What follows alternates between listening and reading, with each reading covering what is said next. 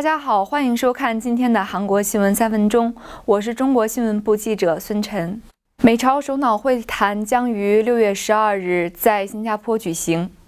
美国总统特朗普当地时间十日宣布，美朝首脑会谈将于六月十二日在新加坡举行，这将是历史上美朝首脑首次举行会谈。特朗普表示，双方将力争让此次会谈成为对世界和平做出贡献的重要历史瞬间。三星电子获加拿大节能之星双项大奖。据业界人士十一日消息，三星电子获得加拿大政府设立了2018节能之星市场改造奖，家电和电子产品两个领域的大奖。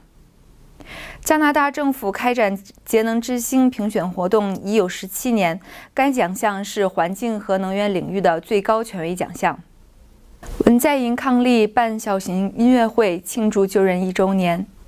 韩国总统文在寅昨日邀请青瓦台附近居民办小型音乐会庆祝就任一周年。当天，文在寅和夫人金正淑女士以及青瓦台附近居民和学生等三百余人出席活动。欢迎收看今天的韩国新闻三分钟，我们下期节目再见。